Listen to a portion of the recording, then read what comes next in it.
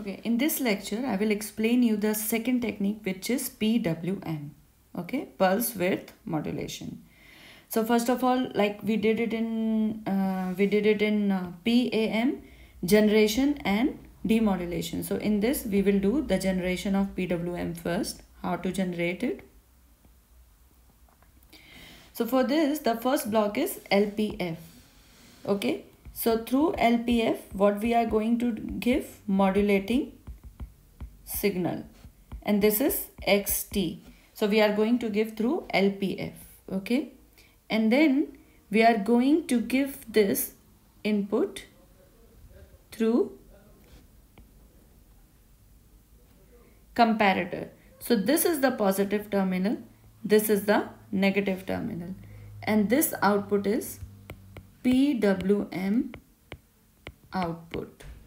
Okay. And this is the negative terminal here. I'll explain you what is that, this thing. And this I'm going to give it through sawtooth generator.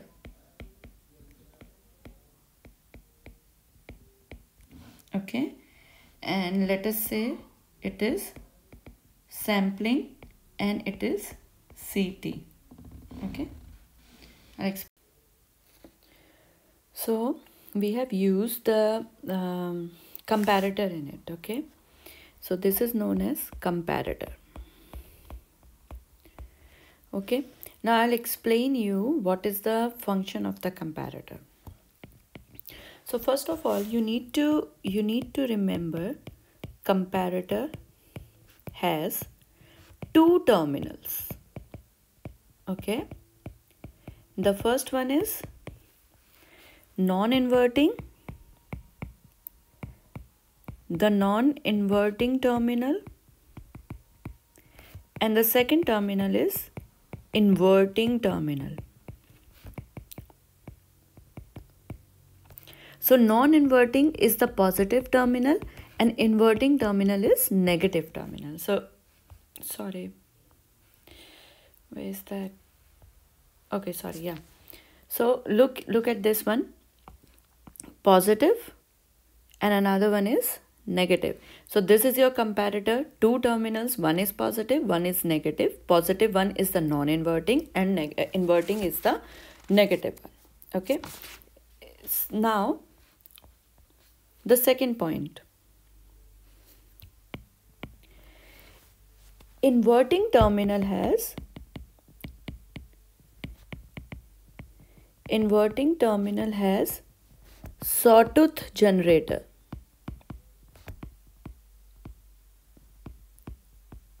And non-inverting non-inverting terminal is connected to low pass filter. Okay look here. Inverting terminal inverting terminal is this one it is connected to sawtooth generator. This is sawtooth generator. And the positive one this positive one is connected to lpf okay? Low pass filter. Now what is the function of sawtooth generator? A sawtooth generator sawtooth generator generates a sawtooth signal of frequency fs okay? This is a sampling signal in this case.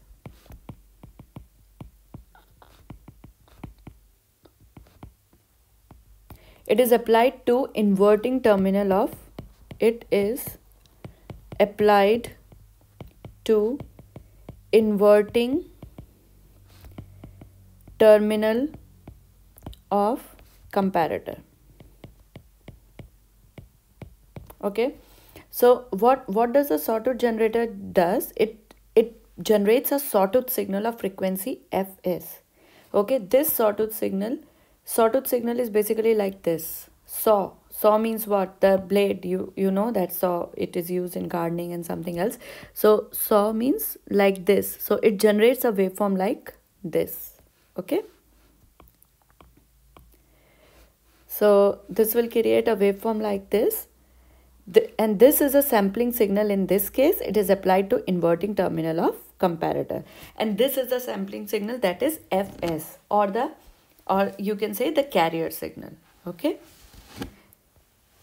now next point is modulating signal modulating signal what is the modulating signal xt okay is applied to non-inverting terminal. Terminal of same comparator. Okay, so you can see the figure again.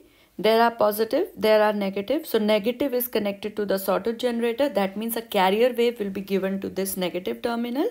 That means the inverting terminal and the modulating signal, this xt xt is applied to the positive positive means the non-inverting terminal of the comparator okay now the comparator output the comparator output will remain high as long as the instantaneous amplitude of xt is greater than ramp signal. Okay so suppose this is the comparator here.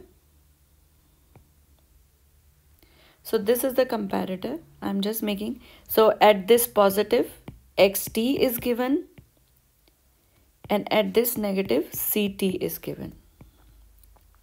Okay?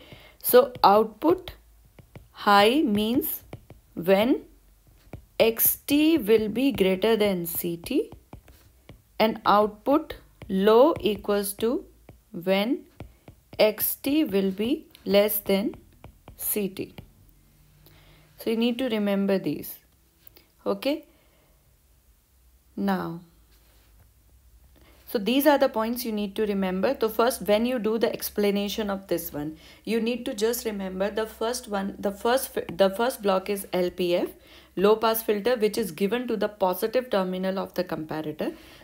Second block is sawtooth generator which is given to the negative terminal of the comparator. Okay, this is the first point. This sawtooth generator generates a ramp signal or the carrier signal which is in this form, right? Which is in this form and this xt is gone to the plus signal okay this is the explanation and remember when xt is greater than ct then output will be high when xt is less than ct output will be less okay. Now make the waveforms. Okay. Suppose how to make these waveforms? Suppose this is the modulating signal. Mm like this. Okay. This is your modulating signal. Now the the carrier signal is applied to it. Okay so let us say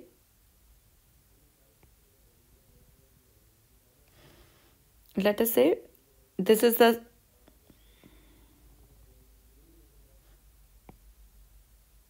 mm, okay. So this is the basically the carrier signal. Okay. So let us mark this one is the carrier signal. Okay. Or you can say this is the sawtooth sawtooth waveform. Or you can say this is the sampling signal. You can use any name. Okay. And this one is the modulating signal. That means this is your xt and this is your ct so your xt and ct is done. And now i need to make the output the pwm output. Okay? So wherever or which point these are intersecting each other. Okay? This point like this. The another point will be like this one. Okay and on this waveform on this waveform we have make. And on this waveform here. Okay. So wherever it is it is just cutting. So you you can make a output here. Okay. Like this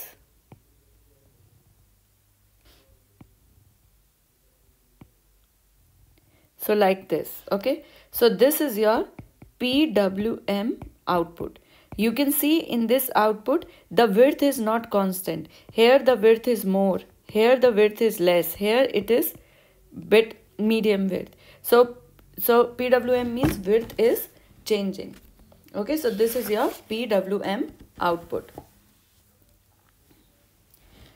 So basically remember as amplitude of xt increases, the width of PWM signal will increase.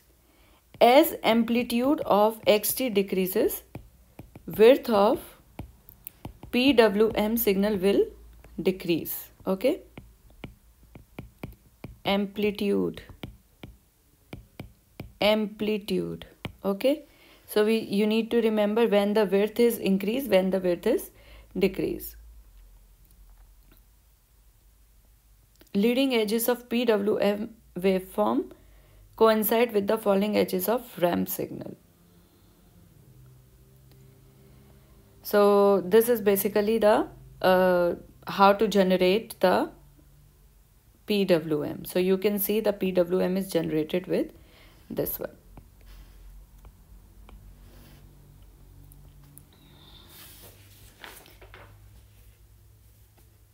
Thank you.